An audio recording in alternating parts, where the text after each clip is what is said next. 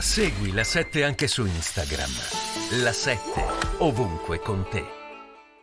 E poi ancora un'altra cosa, Mariupol, eh, Mariupol l'abbiamo conosciuta nelle settimane passate per le cronache, per la battaglia sull'Azovstal, lì la situazione proprio per eh, numerosi corpi in decomposizione con il caldo crescente perché ci troviamo a sud-est del paese ha provocato una situazione di eh, epidemia, c'è il rischio molto concreto di un'epidemia di colera, tant'è vero che le autorità russe, le truppe occupanti hanno messo in quarantena tutta la città. E poi c'è da dire che si combatte naturalmente nella zona più a nord, sempre a nord-est, però Severodonetsk, parliamo del Donbass, parliamo di Lysychansk, sono zone eh, dove c'è una pesante offensiva russa, offensiva russa che però si sta spostando anche verso l'asse settentrionale del paese. A te Andrea.